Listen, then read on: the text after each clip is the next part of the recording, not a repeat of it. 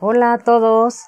Hola. Nuevamente aquí estamos con ustedes, muy contentos de grabar otro video. Eh, espero les guste este tema. Es un poco polémico y un poco difícil, pero muy importante para mí. En este caso vamos a hablar de cómo procurar la infancia como madre soltera, como madre divorciada, como madre sola, en base a mi experiencia, no en base como a una experta ni como una psicóloga. Yo cuando me divorcié, mis hijos eran pequeñitos los dos, chiquitos tenían un año y cuatro años y once años. El chiquito yo en ese tiempo no trabajaba, trabajaba con mi esposo, pero en la casa. Entonces, pues estaba prácticamente con él. Con la de cuatro años también. Ya iba al kinder, pero iba con su hermana mayor. Entonces, cuando me divorcié, pues obviamente cambia la vida totalmente para todo. Para la familia interna de la casa, como para la familia también política y la familia tuya de sanguínea. Para todos nos cambia la vida, ¿no? En este caso, los que más suelen sufrir son los hijos Siempre les he dicho a todas las, las mujeres que yo veo que están quejándose de que no, que se quieren divorciar, que ya no aguantan, que esto, o sea, si no son cosas tan graves, de verdad traten de estar mejor ahí en, una, en su matrimonio, si son cosas que se pueden solucionar o cosas sencillas de, de solamente el, carácter, de que está de mala, de que se enojón, de que no son cosas tan graves, traten de estar ahí con su pareja siempre. Mejor estar los hijos en una relación de, de una pareja que estar uno como mamá soltera, porque sí es muy difícil y aunque uno haga todo lo posible por, por darles todo a tus hijos, por darles el tiempo, por darles la educación, por darles amor, por darles todo, pues quieras o no, siempre traen sus heriditas ellos, ¿no? A mi punto de vista siempre fue mis hijos lo más importante para mí, porque pues como he comentado, ellos nunca pidieron venir al mundo, entonces pues vinieron con mucho amor, fueron bienvenidos siempre, los tres. Yo siempre, gracias a Dios, aunque tuve a mi hija la primera a los 17 años, gracias a Dios siempre no sé qué me pasó, pero tuve la madurez como para que era una niña a los 17 años, ahora lo veo que era una niña. Tuve la madurez suficiente como para decir, no, pues ya tuve una niña y ahora mi hija. Después a los 23 años tuve a otra hija y pues ahora tenía dos y ahora la responsabilidad pues ya era mayor, ¿no? A los 27 tuve el tercero y, y pues ahora tres, ya eran más. Digo, no sé cómo le hacían las mamás de antes en verdad, ¿no? Pero a mi experiencia sí les quiero decir que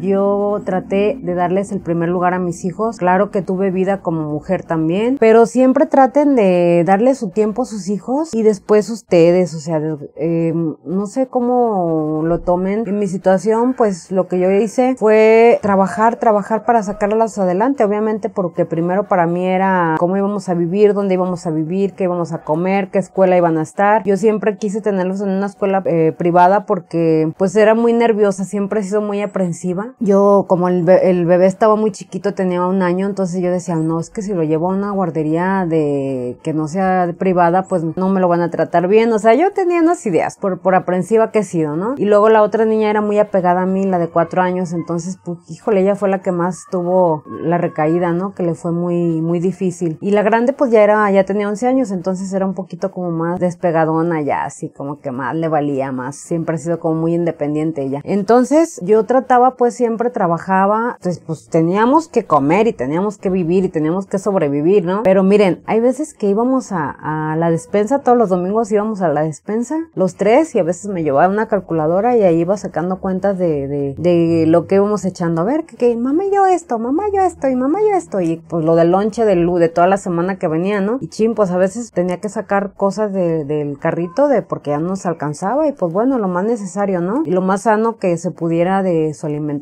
que iban a llevar de lonche para la escuela y pero ellos hacían el súper conmigo. Y cuando están chiquitos los puedes aprovechar para que estén contigo siempre y pueden seguirte y andan andan contigo para todos lados. Aprovechen a sus hijos de verdad, aunque trabajen, hagan todo lo posible por si sus hijos están pequeños cuando ustedes se divorcien o son unas mamás solteras que, que nunca tuvieron un hombre que le respondió. Yo les digo que le den la prioridad a sus hijos siempre y algún día, en alguna edad de, ellos, ya ellos van a, crecer y ya podrán ustedes hacer sus vidas. Los niños que crecen con amor y con atención son mejores personas siendo adultos.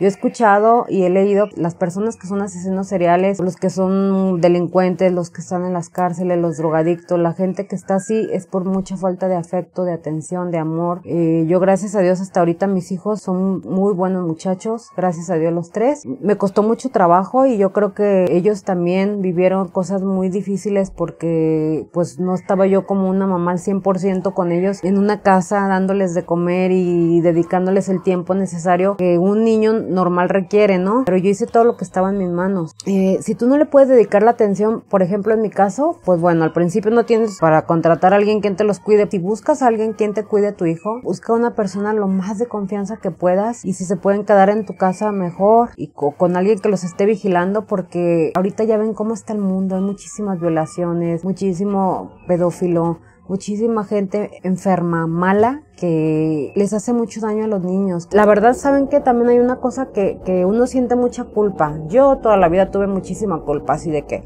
ay, pobres de mis hijos, híjole, pues eh, no tienen papá, ahora yo trabajo todo el día, yo esto. Creo que si ellos me dicen, mamá, si nos hiciste falta, a lo mejor sí, pero trataba yo de siempre estar lo más temprano posible ahí con ellos a las seis y media o siete más tardar. Todos los días iba yo por ellos a la escuela, la verdad, siempre fui por ellos a la escuela. Ahora me dicen, ay, mamá, éramos los que, los que se quedaban al final y, pero pues nunca llegaba tan tarde, o sea, no, es que si dicen, nos quedábamos, si salían a las dos, a lo mejor lo más tarde que llegaba fue a las tres de la tarde, pero siempre trataba de ir por ellos yo a la escuela y comía con ellos. Ya hoy en día ya no lo hago porque pues ya son grandes, ya tienen sus vidas. De verdad no los abandonen a sus hijos. Es muy importante que se sientan amados, queridos, protegidos. Miren, platiquen con ellos a la hora de la comida, cómo les fue en las escuelas, cómo les fue, platiquen. Si sienten algo malo, díganme. Eh, procuren platicar con ellos, denle su tiempo a cada uno, no sé cuántos tengan, pero denle su tiempo a cada uno. Por ejemplo, a uno vayan en la noche. A ver, ¿no te, no te faltó algo por contarme a la hora de la comida? No, pues que sí, mamá, que estoy así esto. Yo normalmente les hacía piojitos los, cuando los iba a dormir, les contaba historias de la Biblia o cuentos y dormía uno y luego ya me iba con la otra y luego ya me iba así siempre, siempre fue así. Siempre traté de darles eso y digo, no, no me considero una madre perfecta. Traté de hacer lo que, lo que yo pude, lo que estuvo en mis manos y traté de interesarme en ellos y de ponerles atención. El punto número uno que les quiero decir es que no desatiendan a sus hijos. Traten de darles mucho amor nosotros normalmente cuando éramos niños, nuestros padres no nos dieron amor, no nos, no nos dieron cariño, no, no nos dieron afecto porque ellos así fueron educados. Entonces hoy yo trato, por ejemplo, de mi reina, mi amor, mi vida, mi cielo. Trato de ser una mamá cariñosa lo más que puedo, aunque como les digo no soy perfecta ni creo que fui la mejor mamá tampoco porque tuve mis errores, tengo mis defectos y soy un ser humano. Pero lo que les quiero decir, el punto número uno es que traten de darle amor y no los descuiden, y ténganles atención, platiquen con ellos lo más que puedan, así sean las noches cuando lleguen. Número dos, disfruten a sus hijos, si son pequeñitos disfrútenlos porque la vida se nos va así, o sea, el tiempo vuela, cuando menos piensas ya son adolescentes, cuando menos piensas ya son adultos, cuando menos piensas ya se te van a casar, cuando menos piensas ya ti ya eres abuela, cuando menos piensas, entonces de verdad disfrútenlos, es tan hermoso tener a tus hijos y dedicarles el tiempo es tan hermoso. Después te das cuenta y dices, híjole, estaba acompañada todo el tiempo, mis hijos eran mi razón de vivir. Y ahora pues ya cuando, cuando ya son, son adultos y crecen, dices, ya me dejaron sola. Pues ni modo, es la ley de la vida, ¿no? El nido vacío, como le dicen. Número tres, les aconsejo que tengan mucho cuidado con quién dejan a sus hijos encargados, porque hay mucha gente muy, muy mala, hay mucho bullying en la escuela, hay muchas cosas nuevas que ahora sacan, pues que, pero que siempre las ha habido, que antes no, nosotros les nombramos de diferente manera y, y salíamos adelante de diferente manera también porque no teníamos otra opción, pero hoy en día sí es muy importante que uno les dedique tiempo y atención a los hijos, disfrútenlos de verdad porque se nos van rapidísimo. No todo se arregla con dinero, ¿eh? aunque no tengan dinero, pueden ser felices con sus hijos, a su manera de, de, de vivir, no importa, o sea, si algún día llegas a tener, que bueno, que sea, pero con amor y todos juntos, es de verdad lo mejor que pueden hacer. El amor no tiene precio para nadie, ni para ningún hijo. El cariño es muy importante, que se sientan ellos que, ok,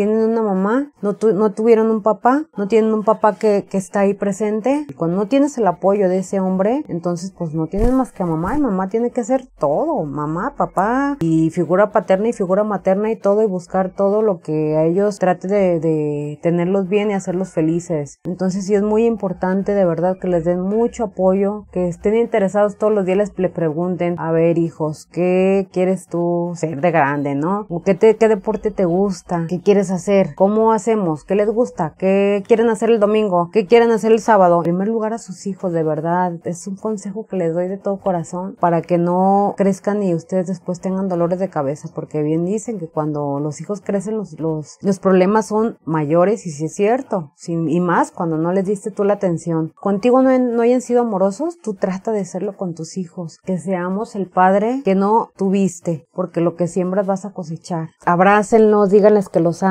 Fíjense, les voy a contar una anécdota que me pasó una vez en la escuela de mi hijo cuando tenía como año y medio, estaba maternal. Entonces en esa escuela pues todo festejaban muy, muy, muy, este, muy lindo. Y festejaron el Día del Padre. Recuerdo muy eso porque me marcó mucho. Invitaron a los papás, entonces eh, pues bueno, a veces no termina uno muy bien con las parejas y, no se da de que vayan a verlo. Bueno, tiene uno que hacerlo para que ellos no se sientan mal ni también de que no fueron. Entonces me dijeron, va a ser el, el Día del Padre. Y yo, bueno, pues la maestra me dijo, pues usted venga señora, que no sé qué, no, pero pues bueno, ya llego, todos los niños ahí sentaditos con su papá a un lado, ¿no? Y yo ya llegué y pues así me quedé como que iba a entrar al salón y me quedé así. Y a todos voltearon a verme así como, como viendo y pues yo no sabía si irme para atrás y regresarme si, y me iba ya a salir y me empezaron a aplaudir todos los señores, eh, bravo, pásele, pásele, pásele. Y pues no, casi lloro ahí. Pero mi hijo creo que eso le hizo mucho bien, el que yo haya llegado y él no haya estado solo. Entonces fui como papá. Y pues sí, a veces les hubiera querido haberme disfrazado de con bigotes y haberme puesto algo, ¿no? Y decirle, eh, mira, aquí está tu papá. Pero pues bueno, hice el intento. Creo que mis hijos me aman, yo los amo también muchísimo. Traté de hacer todo lo mejor para ellos. Siempre he luchado hasta el día de hoy para que ellos estén bien y siempre he tratado de ser la mejor mamá. Algo que les quisiera decir a mis hijos es que traté de hacer todo lo mejor para ustedes. Siempre quise ser la mejor mamá. No sé si lo haya sido o no, pero siempre traté de, de darles lo mejor y de que fueran los mejores hombres y las mejores mujeres cuando fueran adultos. Quiero que sepan que los amo muchísimo y que siempre voy a estar ahí con ustedes cuando me necesiten, que siempre van a contar conmigo y que siempre vamos a estar juntos. Los amo mucho y pues si en algo fallé, perdón, ustedes siempre van a ser mis niños, siempre van a ser lo mejor que me ha pasado en la vida. Pues espero que les haya servido este video. Como siempre, yo súper feliz de hacerlos. Muchas gracias por nuevamente estar conmigo. Por favor, denle like, suscríbanse y vayan a, mi Instagram. También denle like, y me harán muy, muy, muy feliz que esto le llegue a muchísimas personas y que de algo les funcione y les sirva todo lo que yo les digo. Sí, es un placer nuevamente verlos. Les mando un abrazo, muchas bendiciones. Les deseo un feliz día, niños, a todos, a todos. Y disfruten su niñez. Disfruten a sus niños, ámenlos, abrácenlos, apapáchenlos, que no siempre están niños, se van así, se nos va la vida así, estamos, es un suspiro nada más, ¿sí? Les mando un abrazo fuerte y niños, sean felices, vivan su vida, no estén metidos en las iPads, vivan felices, disfruten, que rápido crecen. Nos vemos. Cuídense, bye.